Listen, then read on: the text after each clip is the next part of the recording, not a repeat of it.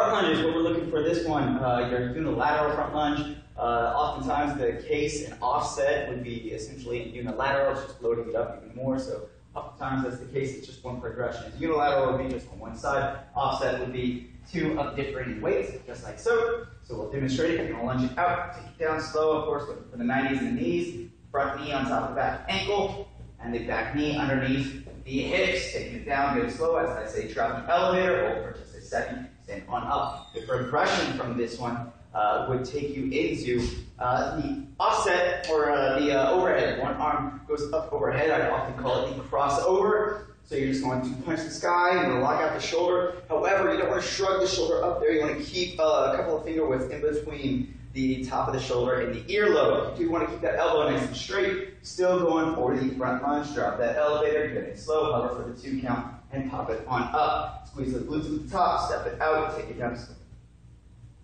All right.